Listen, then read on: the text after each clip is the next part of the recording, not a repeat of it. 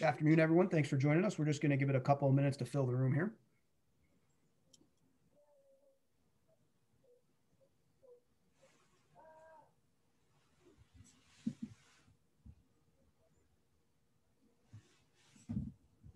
Good afternoon again, everyone. We're going to give it about another minute to fill the room here.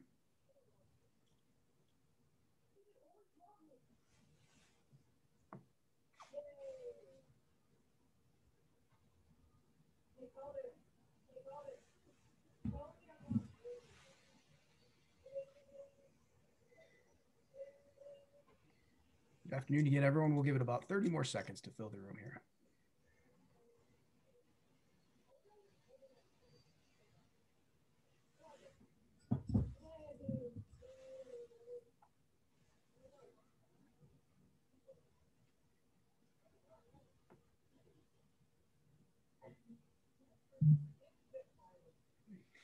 Good afternoon again. Thank you for joining us once again for our weekly Wednesday webinar series.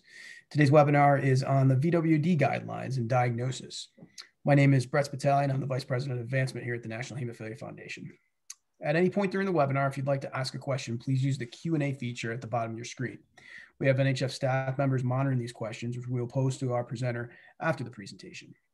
This webinar is being recorded and will be available this Friday on the events section of the NHF website at nhf.org. I'm joined today by someone in our community who really needs no introduction, uh, Dr. Robert. Uh, um, thank you for taking the time to join us again, sir. And um, I'll now turn it over to you to get us started, Robert. All right, thanks a lot. And thanks everybody for joining today. Um, and, and, this is going to be part of a, a multiple session series. Uh, if I remember correctly, the next one is going to focus on management. Um, but we really wanted to make sure that not only do we uh, produce the guidelines, but we disseminate them and make sure we explain them to the community about some of the critical changes. And certainly we're not going to cover everything that we did um, in this guideline, but I'm going to cover a good portion of it, spending a little bit more on time on things that I feel are a little bit more critical. All right. So, um, you know, we want to make sure everyone knows what the mission of NHF is dedicated to finding cures for inheritable blood disorders and addressing and preventing the complications of these disorders.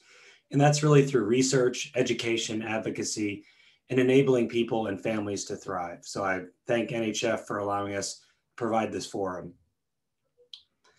Um, it's important that we have disclosures. Um, as part of the process, uh, there was a pretty significant uh, process um, in place uh, that was set up by ASH. Um, but this organization, this was, um, you know, put on by ASH, ISTH, NHF, and WFH. And it was really um, uh, important. Um, and they also included four patient representatives in addition to the panel of scientists and um, uh, clinicians. And we used uh, Reem uh, Mustafa, um, who was fantastic from Kansas City uh, Medical Center. We really took her guidance and, and were able to, uh, she was able to shepherd this through. And this really took over two years uh, to go through. And we were a little bit on, a little bit sequestered and a little bit locked down for a while um, um, when we were working on these. So it's important to understand this was an international effort. Um, it took a lot, a lot of people involvement. We had a number of virtual meetings and face-to-face meetings. Thankfully, we were able to get through most of the meetings before the pandemic.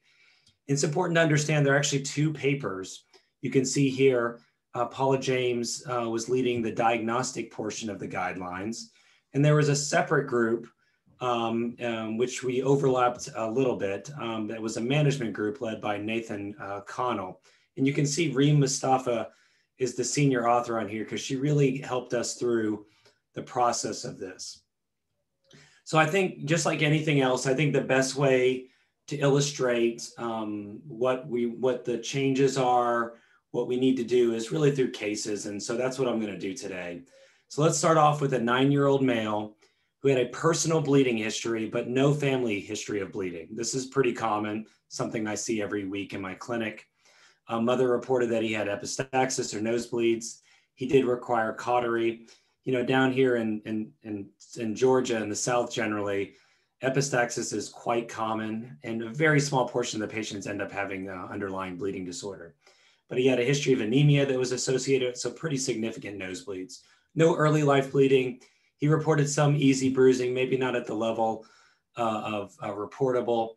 Uh, no prolonged skin bleeding. He hadn't had any surgeries, but he did have some issues with dental extraction that required repacking in tea bags. So certainly enough that warranted a workup. The question that was given to us, or at least you know that came up, was the primary care provider said, "Should I consider a bleeding disorder evaluation?" This is a common question. What is the level of bleeding that necessitates uh, fairly expensive uh, bleeding workup? So people may remember this from the Mets uh, broken bat to the face. It's like adding insult to injury, you know, missing missing the ball and then hitting yourself in the face. And sometimes we feel this way about all the different bleeding assessment tools that we call BATs. There have been a number of them. Uh, some of them have better names than others. There's the Vicenza one. Uh, most of these originated out of Italy, including the condensed MCMDM1 VWD questionnaire, probably the longest name of a questionnaire ever. Um, and uh, subsequently, the ISTH BAT or bleeding assessment tool. And then a tool was uh, made in which the families or the patient could self complete it and didn't require expert uh, administration to ensure that the scoring was correct. And so that's available online. I put the, the links on there um, from the Netherlands and also from a great website from Let's Talk Period.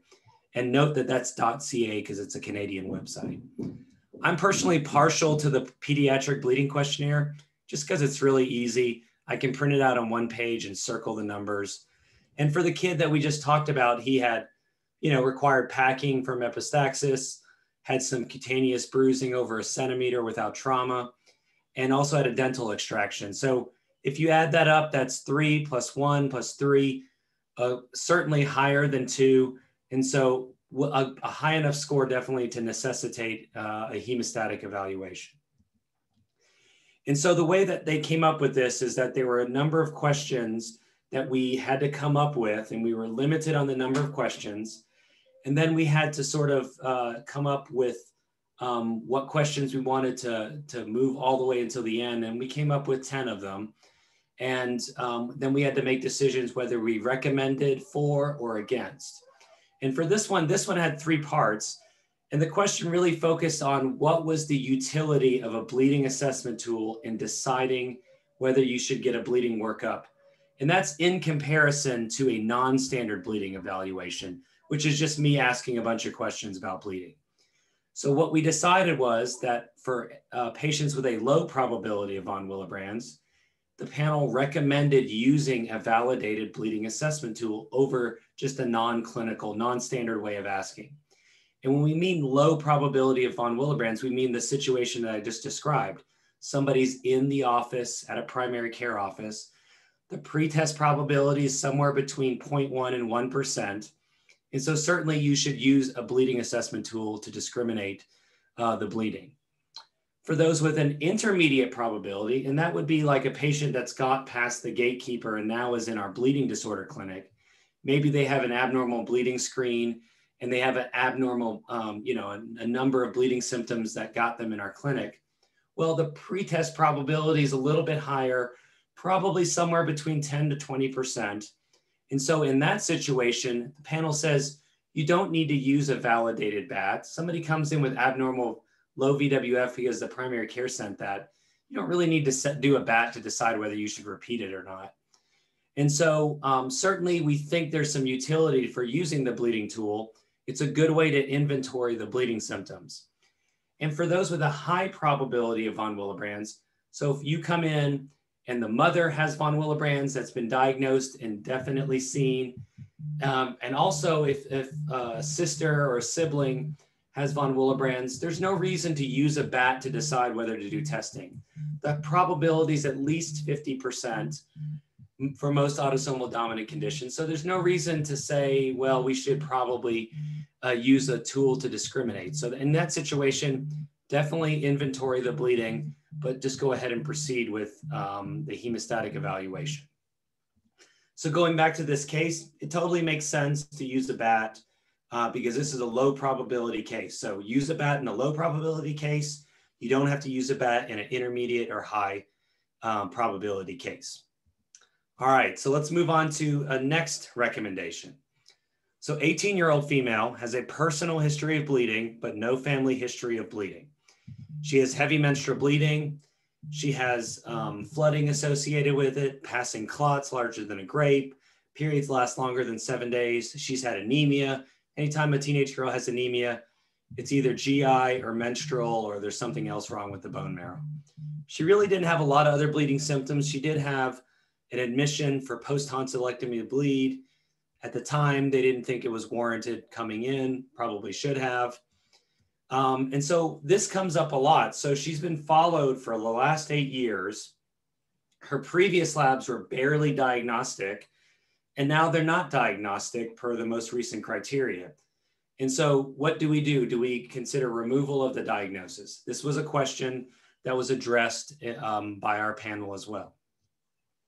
First of all, there were some things that we wanted to capture in the guidelines, but we knew it probably didn't belong in this format.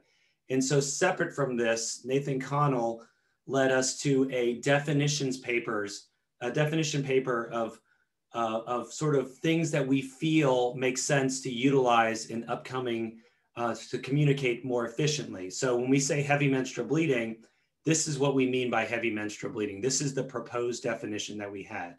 Lasting eight or more days, soaking through one or mo more sanitary protection uh, every two hours on multiple days. And remember, they can have any of this criteria, requiring the use of more than one sanitary protection item at a time, changing it during the night, associated with passing blood clots the size of a grape, or having a pictorial chart score of greater than 100.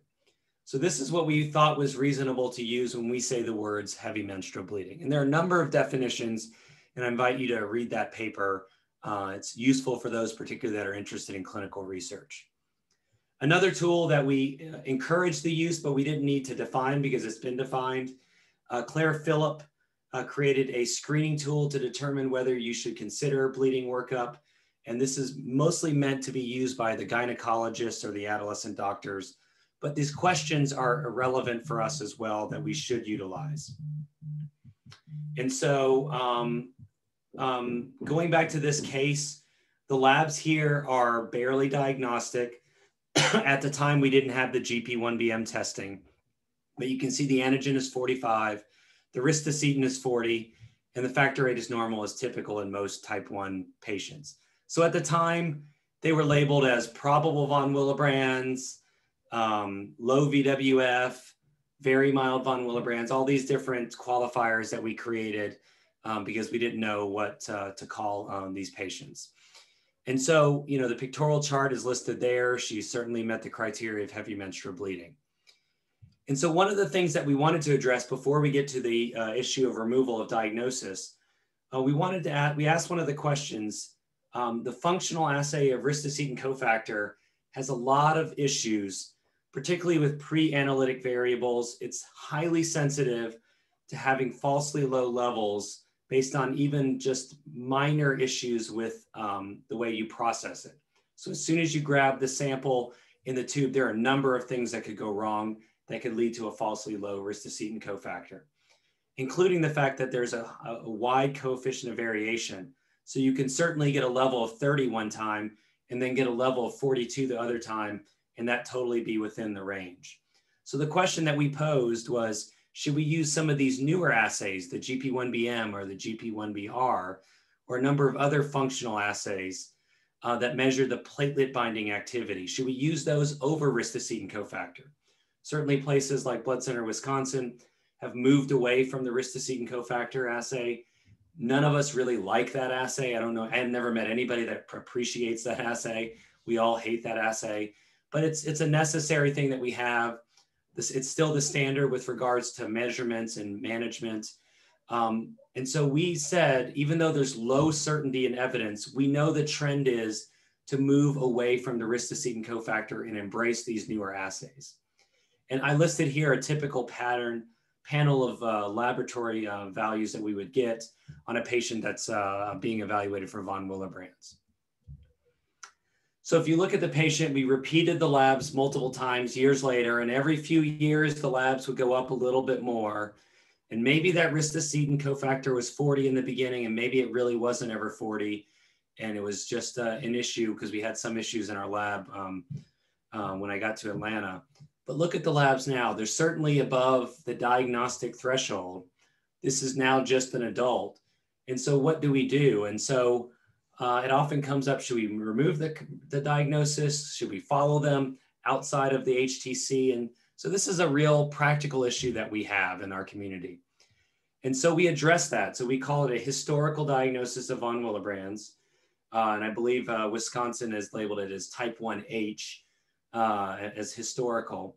But now they have normal levels. What do you do? Well, the panel suggests, even though there's low certainty in the evidence, reconsidering the diagnosis as opposed to just removing the label. One thing that's important to do is that maybe you should consider platelet dysfunction if you didn't consider it in the past. Make sure that you got all of the battery of labs that are necessary to make a diagnosis at the time. Maybe you didn't have all those labs. And it's really important that we obtain those labs at a specialized laboratory that understands how to do these testing. We understand with pregnancy, with aging, other comorbidities, your levels are going to increase on average at least 1% per year. And it's important to acknowledge that. What we don't know is that will the reduction of bleeding symptoms correlate with rising levels? And are, is there an age specific um, level of von Willebrand's for a 70 year old versus a 15 year old? Those are things that we don't know currently. And hopefully we'll be able to address these in the state of the science uh, that NHF is uh, undergoing right now. Certainly we should understand that there were people that had falsely low risk to ristocetin cofactors. Just because somebody had one level, you know, 10 years ago and every single risk to ristocetin cofactor after that, that doesn't mean that they actually had the diagnosis. Uh, and it's very common to have issues with pre-analytic variables, variables and have issues with falsely low risk to ristocetin cofactor. It's something we definitely should acknowledge. And so going back to this case, you know, we shouldn't just say we're going to remove the diagnosis. Typically what I do is we follow the patients a few years after they have normalized their levels. At the time of this, if their bleeding symptoms have reduced, we may back off and say, well, for procedures, we may consider just observation and having Amicar available um, and so we sort of get a test of what needs to be done uh, moving forward. And so um, just one second, I keep getting a phone call here. So um, um let me just tell somebody to call somebody else. Sorry about that. Um, so moving forward on this, um, let's, let's go into the patient case number three. So this is a 12 year old with a personal history of bleeding and an older sister who's been labeled as having low VWF. So um, certainly uh, she has heavy menstrual bleeding. She's got flooding. She has periods that last longer than seven days. She plasses clots. Really doesn't have a lot of other bleeding symptoms other than easy bruising. So what's her diagnosis? So here are the labs. This isn't the DDAVP challenge labs.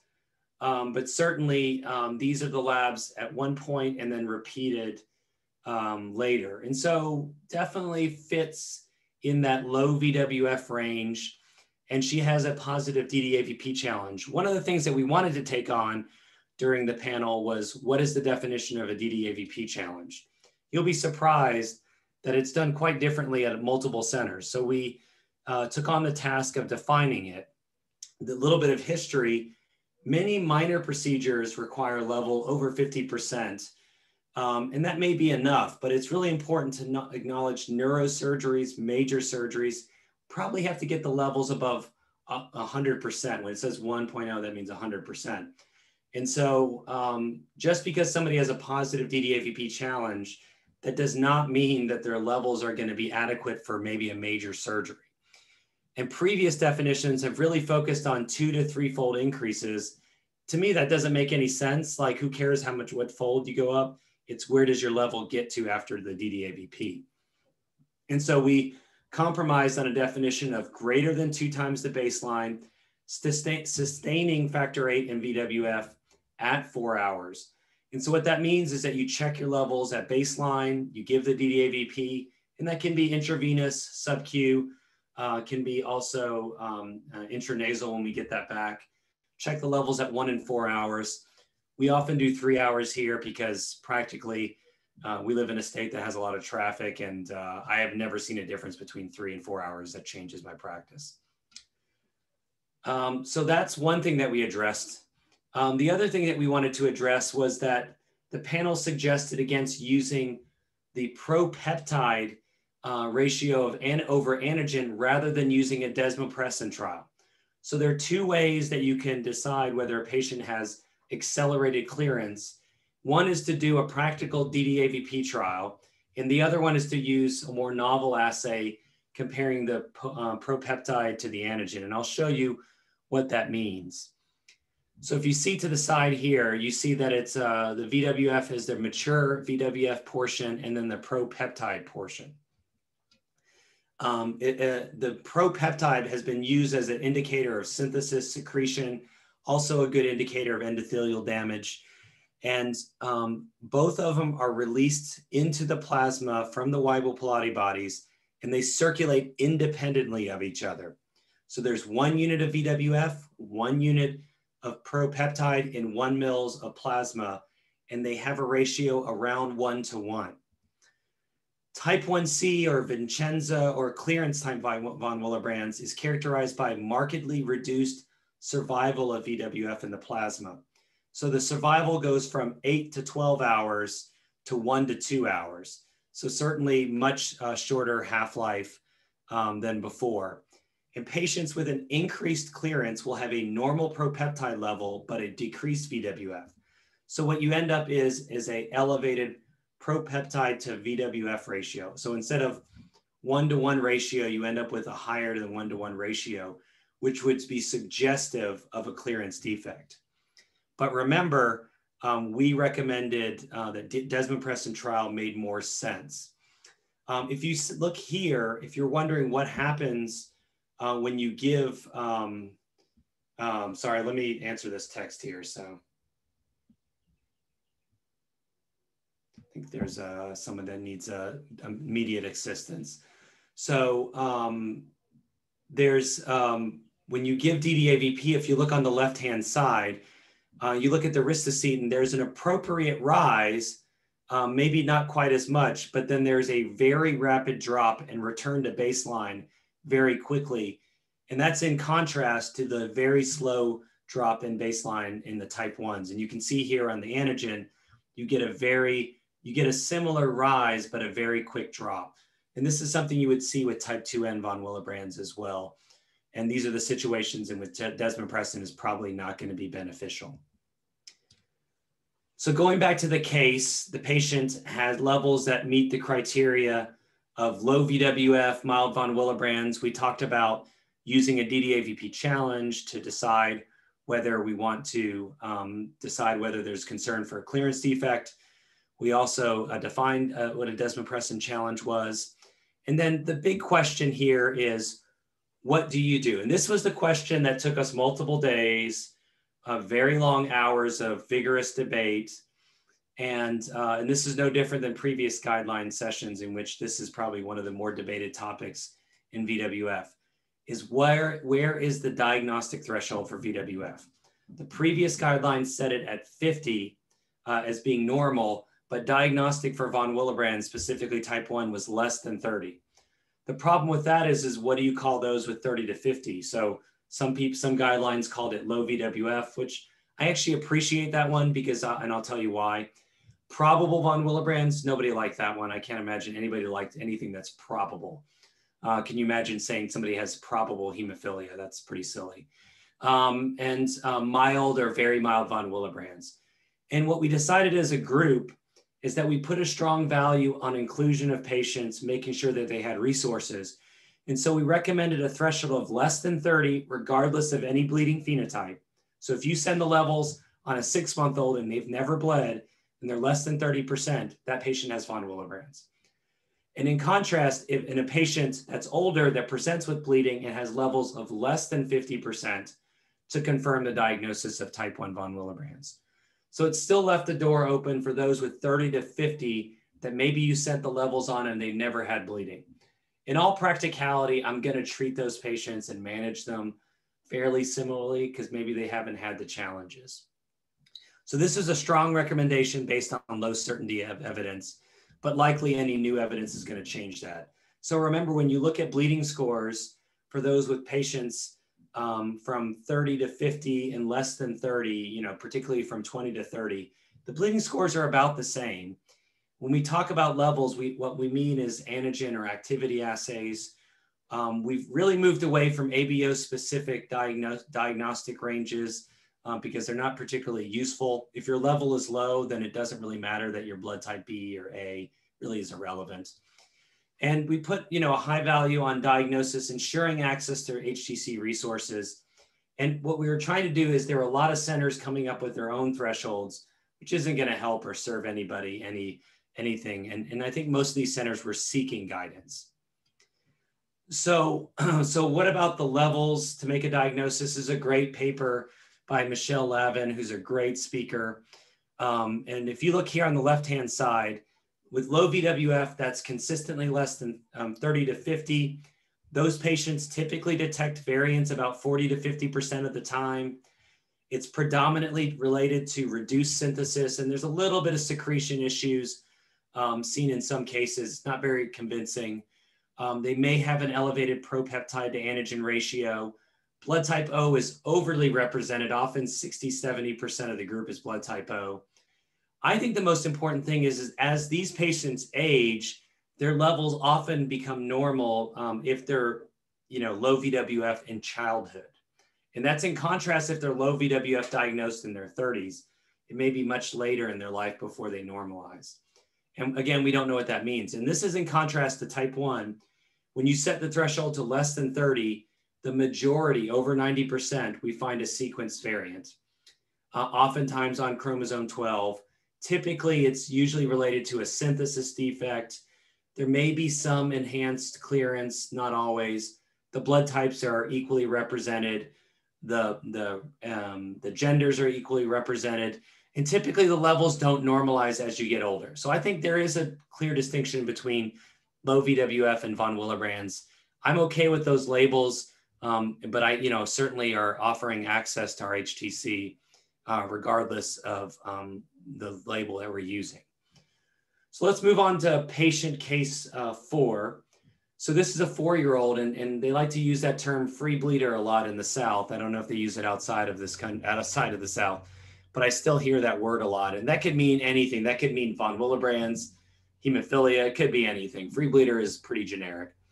This patient had dental extraction bleeding, bleeding with intramuscular immunizations, easy bruising, prolonged skin bleeding, and had some oral bleeding as well. And so the question for this patient is what is the best way to proceed with um, her evaluation?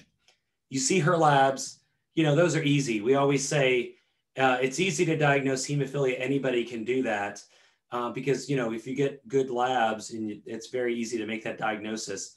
But certainly to try to make a diagnosis of mild von Willebrand's takes a lot more skill. But these labs are clearly low. When you repeat them, they're low as well. And so it's pretty straightforward that this patient has von Willebrand's. Now we need to figure what subtype do they have. And there are a number of different types, and we certainly don't have time to cover it during this presentation. We just really wanted to give you a, a flavor of it through the guidelines. You know, there's type 2A, and there are multiple mechanisms, either decreased secretion or increased susceptibility to ADAMTS13.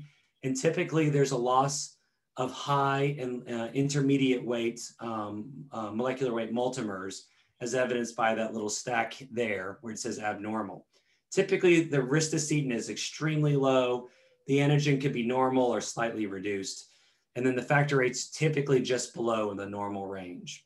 If you look at type 2B, that's actually a gain of function defect in which there's increased binding of platelets. Um, and so you would typically see uh, absence of high molecular weight multimers as well. It's not always the case, and there's plus or minus on thrombocytopenia in those patients. Type 2M, there's an issue with decreased binding to platelets. Typically, they have normal multimer distribution um, and have very low ristocetin or GP1BMs.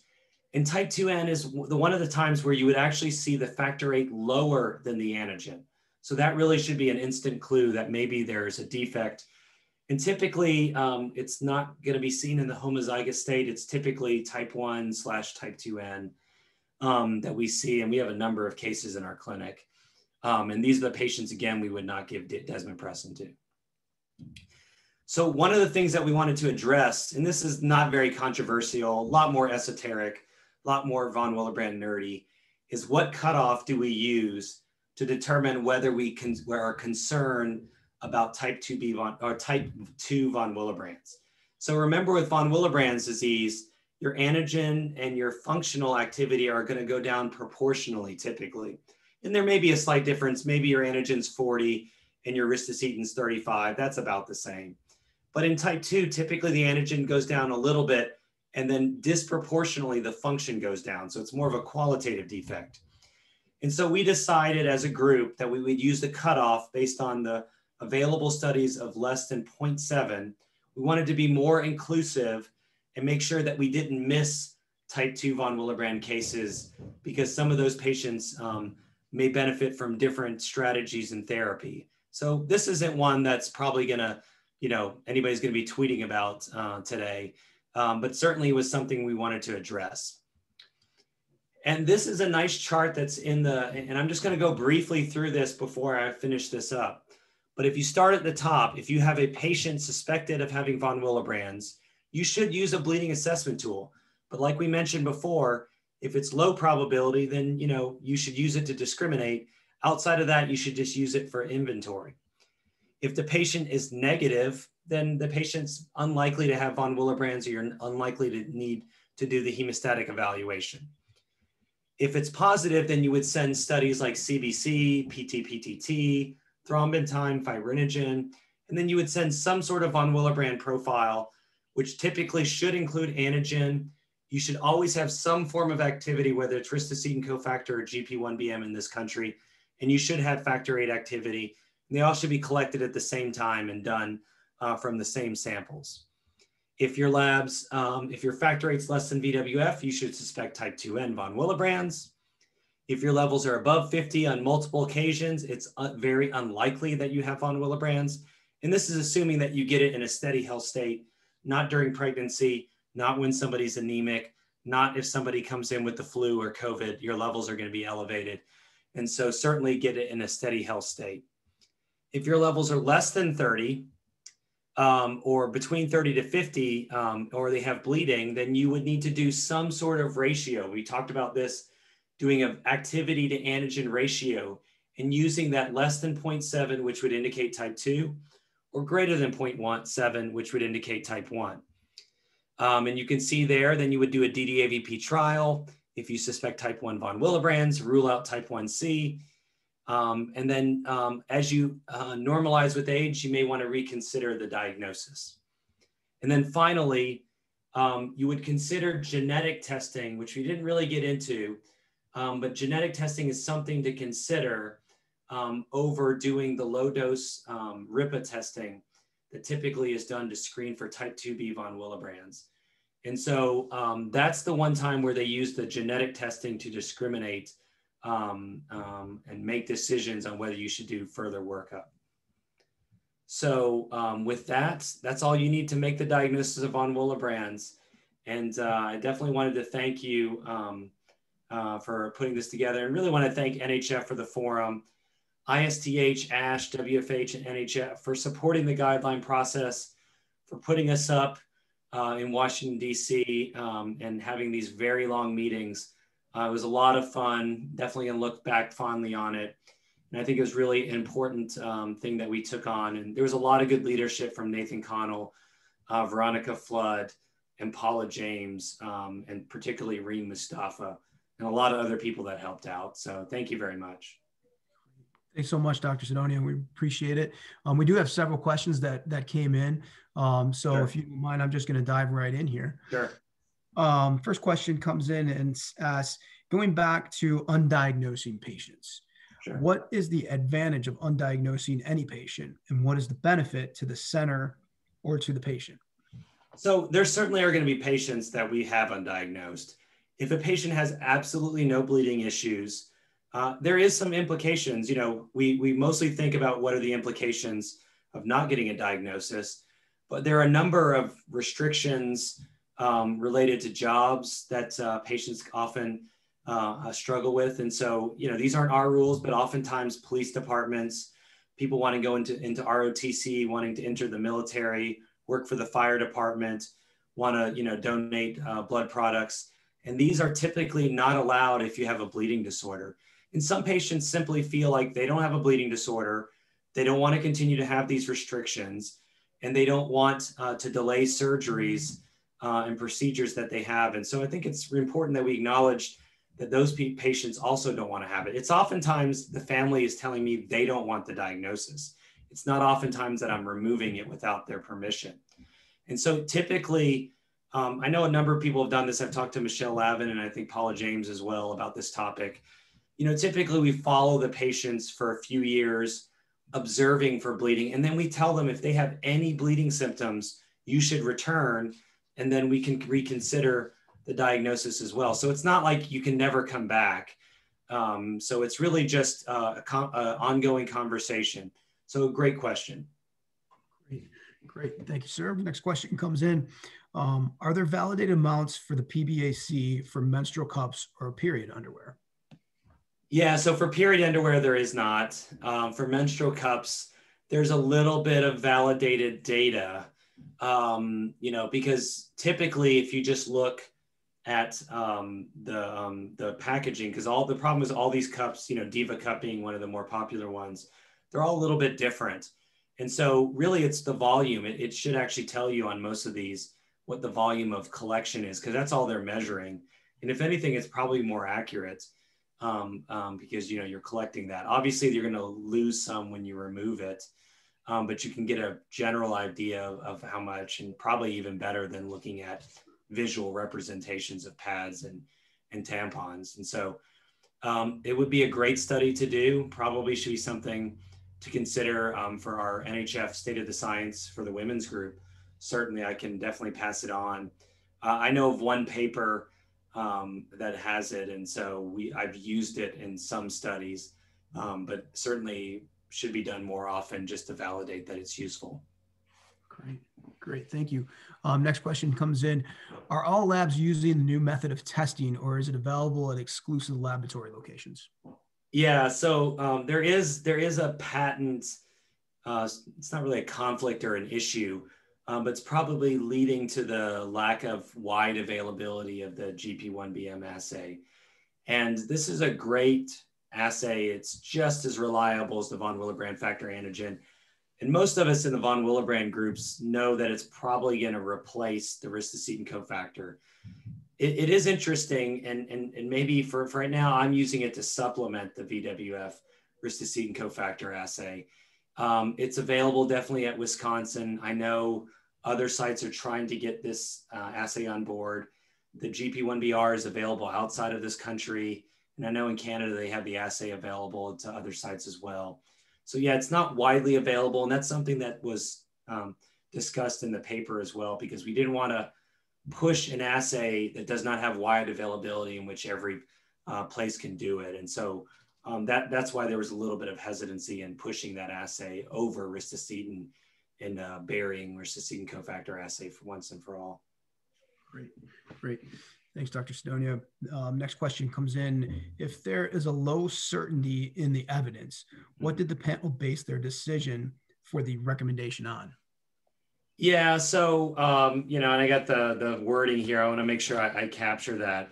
And so, you know, even though there's low certainty, that doesn't mean oftentimes when we need, so when we make a strong recommendation or a conditional one.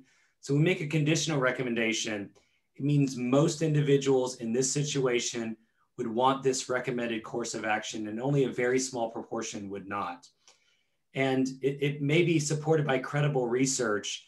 Um, and what, what's really important is that even though maybe the data isn't there completely, it's unlikely that further data is going to change the recommendation, which is really important, right? Just because we don't have data doesn't mean we, we can kind of guess if, if the data is going to be useful or not.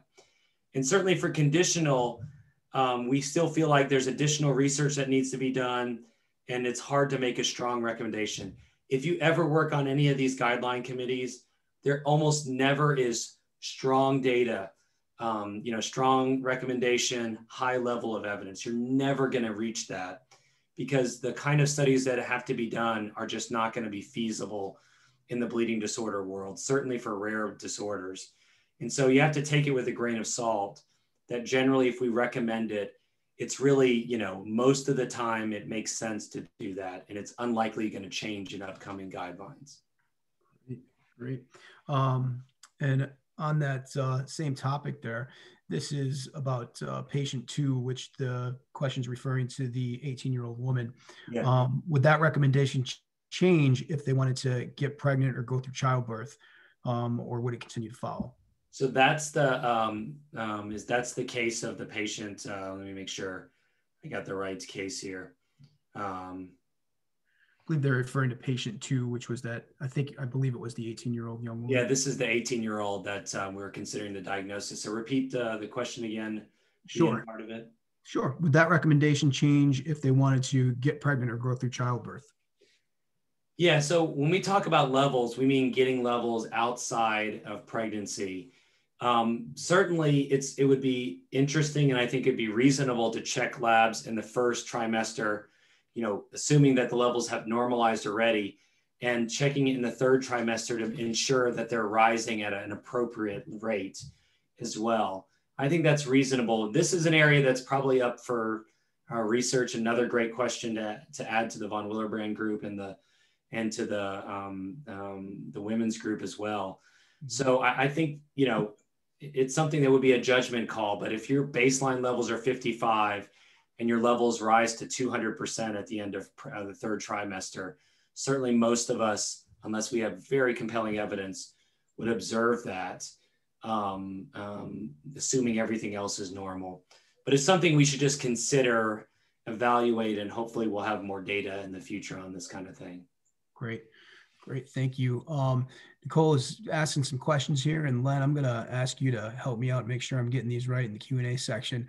Um, but her questions are a, um, a, a, couple of, a few of them come in, um, and I'll ask them one at a time here. Is there a higher incidence of low VW, VWF associated with type 1, type 2? Um, I may not understand the question. So low VWF is very common. Um, if you look at the prevalence, if I just ordered VWF labs, I just walked into a random clinic, pediatric clinic, and just started ordering VWF labs, regardless of bleeding symptoms, it's a fairly high prevalence. You're likely to find up to one, one out of 100 patients in that clinic are going to have it. When you're talking about von Willebrands, it's probably much more um, less common, closer to one in a thousand uh, or even less that you're going to see that. So we know that blood type O uh, is uh, definitely affects it. And there's a number of really good papers that probably reflect the prevalence of low VWF. Particularly, there was a paper not too long ago, and they're all conflicting, of course. Uh, people undergoing GI procedures that have blood type O were more likely to have bleeding complications. You know, that probably reflects the fact that there's an issue with, um, there's probably a higher prevalence of low VWF. But interesting enough, in a, an excellent study done by the late Joan Gill and uh, completed um, by Dr. Veronica Flood, there were a number of patients that had low VWF that went, underwent tonsillectomy that did not bleed. And it certainly wasn't predictive of post tonsillectomy bleeding.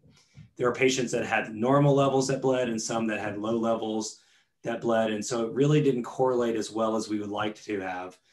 Um, so there's, it's probably more complicated. I personally feel that stress response, your ability to elevate the levels, probably is a big um, variable in determining your bleeding type, uh, your bleeding tendency. And so hopefully that answered your question. Yeah, and, and I'll, I'll, i think there's a part two and a part three to that as well too. Sure. So I'll go into that. Is there a higher incidence of VWD with factor eight or factor nine? And what about antiphospholipid antibodies and VWD? Um, Len, did I get that right there? Yeah, I, I see. Yeah, I see the questions on here. So I don't know. So I, I, guess the question is how many people have von Willebrands that also have a previous, uh, an existing diagnosis of hemophilia? I mean, certainly low VWF is very common. It's going to be just as common in the hemophilia population. Um, we have a patient right now uh, in the hospital that has low VWF and severe von Willebrands, I mean, severe hemophilia. So it's very common. And it's certainly something to think about, particularly if somebody has a short half life. Um, whether, whether it's relevant in factor nine deficiency is not really clear, but the prevalence is probably the same uh, as the general population, but certainly the implications are important for if you have um, hemophilia, because sometimes we would tend to use plasma derived products um, to see if we can get a longer half life if to supplement the low VWF. Um, regarding the question about antiphospholipid antibodies. Um, it's difficult to oftentimes to make a diagnosis of a factor deficiency when there's antiphospholipid antibodies um, going on. I don't know any data to show that antiphospholipid antibodies are more common in von Willebrand patients. You may it may be more commonly found because you're doing a workup for PT and PTT, but certainly I've never seen any data and I don't know what the implications would be in it. Um, but it's certainly, if it's a transient thing, it's definitely worth repeating uh, the labs, particularly the factor eight, because uh, any factor assay is going to be affected by strong antiphospholipid antibodies, which are going to affect the curves and your ability to accurately measure uh, factor deficiency.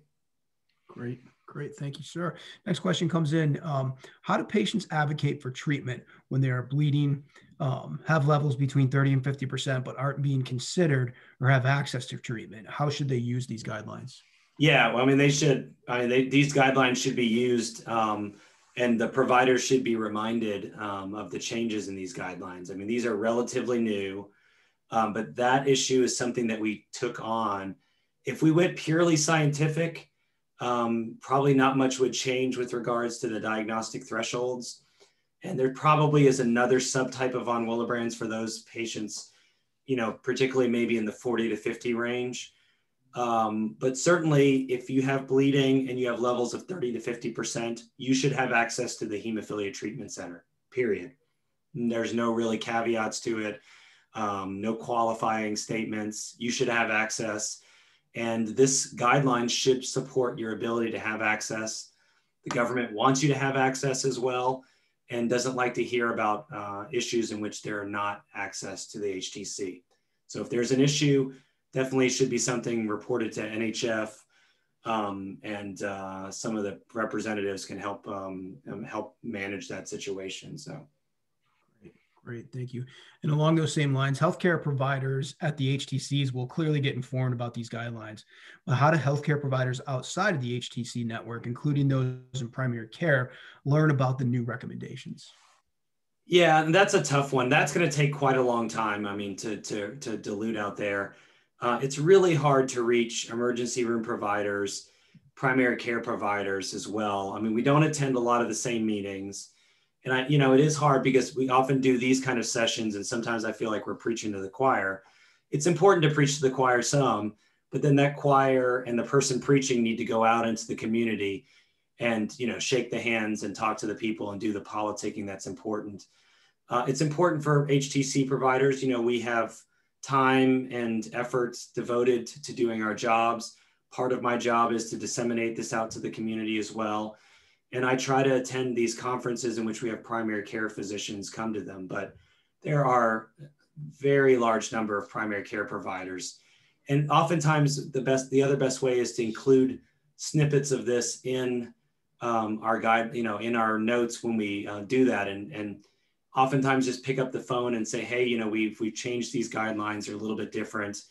And I've reached out to our emergency room provider educators and our um, um, primary care ones because we need to go to those meetings, attend those meetings, and disseminate this. So yeah, that's going to take a while to do, but it's it's worthy of the work. Great, great. There's there are still a few more questions that that have come in here. Sure. Um, if you had to pick one, which diagnosis guideline are you most excited about for the VWD community or your patients? Oh man. um, I personally think the diagnostic one is probably going to have the biggest impact because particularly the 30 to 50%, I think that is probably the most earthquake, sort of earth shattering um, one that came out. It was the one that was hotly debated and it should be debated because we should have vigorous scientific discussions about these. I, I, think the biggest one in, in the management one is that regardless of your type, um, you know, if you have recurrent bleeding episodes, prophylaxis should be considered. I really think that's going to move the field. Uh, I still feel like von Willebrand's is probably about 10 to 15 years behind hemophilia on prophylaxis, maybe even more, maybe 20 years. Uh, and I think this is going to be a good first step to push us uh, to catch up. But I think the diagnostic one is really important, particularly the threshold of 30 to 50%, trying to discern that because we've gotten lots of questions about that. Um, and we've made, you know, changes within our HTC um, to, uh, related to that. Great. Great, thank you. Um, so if a family member has a 37% VWF level, but there are others in the family who have 8% and 10%, would you keep the diagnosis of VWD for the sibling with 37%? Sure. You know, it's important to remember that people often going to have more than one variant that they've inherited. One, you know, both of them could be on chromosome 12 uh, as a sequence variant, and one of them could be uh, related to carbohydrates. Uh, one could be a clearance defect or some other issue um, related to clearance. And so there's no reason that all of those kids wouldn't be seen. And this guideline supports that, right? I mean, less than 50% with bleeding should be followed, should be considered as diagnostic. And if you're diagnostic, you should have access to the HTC. Um, and it's important uh, because that, that patient has, has at least one of the variants that the other siblings have. And we have a number of kids that have that with some that are very borderline and some that are obvious. Um, you know, it's easy to make the diagnosis. So the more the merrier. Great. And um, related to a previous question, um, how do you think patients can best use this information on their path to a diagnosis? A little bit different.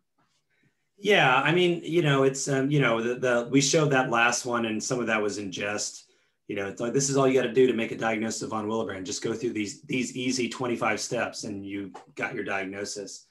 That doesn't, you know, it doesn't. Uh, and this is just a start. One of the big biggest challenges that we have right now is getting genetic testing done and approved um, by insurance. It's very challenging for us to do this. And um, we've actually been utilizing some of our financial support from Hemophilia Georgia to offset some of the costs of the genetic testing and trying to work with organizations to bring low cost, um, you know, genetic testing. The cost is going to go down for genetic testing. And I find that it's, uh, I find that it's even more amusing. Oftentimes the genetic testing is cheaper than the diagnostic uh, functional assays, um, which sometimes can be in the thousand dollar range. So um, certainly it's not a cost issue. It's just some issue with the insurance companies, but it's been more challenging for that. Um, I think this guideline is going to be helpful to make it a little bit more clear about where we draw the lines on diagnosis. Hopefully it'll help providers um, uh, help discern between the different subtypes. And, you know, it, it's still going to take surveillance studies um, through the ATHN, through CDC, and hopefully some through NHF in the future to really be able to figure out um, and understand, um, you know, the entire journey. We don't have a lot of data on pregnant women, postpartum women, perimenopausal women. There's lots of groups, and part of that state of the science is that we're going to identify those research priorities and lay them out. That, and hopefully everybody will jump on them and, and attack all those different research priorities. Great. A um, couple more coming in if, if you're if you're okay with staying on. Sure. Yeah. Fine. Great. Um, what would be the greatest challenges in diagnosing VWD in developing countries, and how can these be supported? Yeah, I mean, obviously, when, when we come up with guidelines, you know, just like Alok Srivastava and the WFH group, when they come up with the uh, the guidelines, they they include developed and developing countries because um, you know obviously the treatment is different regardless of what we want how we feel about it it is different resources do provide you better access and better level of care uh, to a point. And so we're hoping that, you know, some of this will be useful in, in, you know, helping them craft a strategy to work up patients, like using bleeding scores instead of sending diagnostic labs indiscriminately on patients, spending $1,000 on a patient that probably didn't need to have a bleeding workup. We could save that money and maybe it could be utilized, uh, you know, in the end, we're all, you know, using the same pool of money. And so I'm hoping that this will be useful in that community. I know that the organizations that are involved are going to be working on disseminating this to them as well. I think particularly WFH and ISTH, I think they've been tasked to distribute that and try to adapt that to developing countries. So great, great question. Great. That's good to know, especially for our international audience that's on right now. Um, next question is, uh, what can we do as patients to help educate the community and our providers on the new guidelines? Yeah, I mean, the best thing is to stay engaged. Um, you know, I, I think it's helpful to have this information. You know, most of us as provider are willing to reach out to our colleagues anytime we have an issue. I think patients don't often realize that, you know, when we have a challenging patient, I'm usually asking three or four of my friends, like, what do you think? What would you do? And I mean friends in the in the bleeding disorder community, what to do. So I think it's important that we use this, and I hope for this will will streamline the evaluation process and the diagnostic and management process uh, because it's been a little bit uh, vague. And I think that we've seen that in the community because the guidelines were a little bit vague before, the management was a little bit vague, and it's not their fault. We just didn't have a lot of data. But since that last guideline, there's been an enormous amount of genetic data um, and molecular discoveries that have occurred, you know, uh, in Europe, and a lot of them done in the United States um, by you know, Bob Montgomery and Veronica Flood's group. And so uh, I think this is going to help make it a little easier for us that aren't eating, breathing von Willebrands every day. So that's that's really the goal. Mm-hmm. Great. Um, you know, we we have a, a, a, bit of a testimonial that came across, and I'd like to sure. share this with you. Yeah. Um, I think it, it goes to the great work that um, that you're doing and the group is really doing and have done on this. But um, this comes from um, someone anonymous says I was originally diagnosed with type one. With genetic testing, I learned that I have variants that have never been seen before, and that I don't have type one, and also have qualitative factor seven. I'm so appreciative of the new guidelines. It gives me hope that others will have better experience as well too. Yeah, and um, there's a whole other process for patients that have variants of unknown significance. That may be what they're referring to. And um, you know, we have a great case here in which Dr. Zamowski and Dr. Batsuli were able to take a variant of unknown significance for a factor 10 deficiency patient who clearly had factor 10 deficiency and then actually turn it into a pathogenic variant. So it requires patients reporting their bleeding symptoms. And it's a longer process, but um, that's where, you know, uh, it's a discussion another day with the genetic counselors and the geneticists. Yeah. Great. Well, we're right up against the hour here, sir, and and we I, I, just like to you know take the time to to say thank you. Thanks for joining us this afternoon. Thank you for um, your time and your expertise. We truly appreciate it. Yeah. Thank you, Robert. Yeah. Thank thanks. you. Great.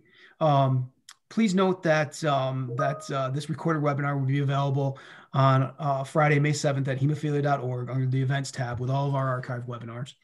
Um, also available in the events tab is our upcoming schedule for weekly Wednesday webinars. Um, Dr. Sidonio, thank you once again for joining us and for sharing the, the information. Um, thanks again to the audience for your activity and uh, everyone have a great day. All right. Thanks everybody. Thank